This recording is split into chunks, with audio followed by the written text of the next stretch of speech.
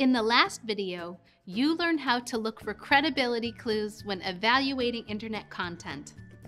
In this video, you and your partner will decide on a topic.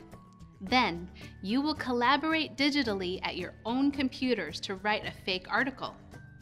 Watch this entire video before beginning to work with your partner. First, come up with a claim that isn't true, but isn't so far-fetched that readers would immediately know it was fake. You could think of a result people would strive for, like getting better grades or making a lot of money. Then, think of a fantastic and easy way that could be achieved, such as using a cell phone or eating a certain food. Or take a fact you learned in one of your classes and claim the opposite. Write about an urban legend or a viral post you saw online. Or imagine something you wish was true, like an invention, a plant or animal, or a cure for a disease. Come up with a title for your document and add it to your fake article document. Return to your own computer to write the article. You will work at the same time, in the same document, but from your own computer.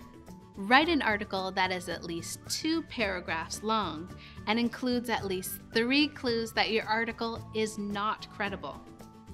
Decide with your partner how to complete this. Perhaps your partner writes one paragraph and you write the other. You will see your partner adding text to the article as you add your own. When you have written your article, move on to the next video to share your fake article with others. Now it's your turn. Talk to your partner and decide on a topic for your fake article. Add a title to your document. Return to your own computer to collaborate digitally with your partner.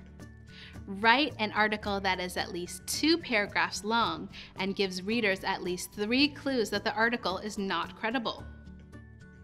When you finish writing your article, move on to the next video to share it with another pair in your class.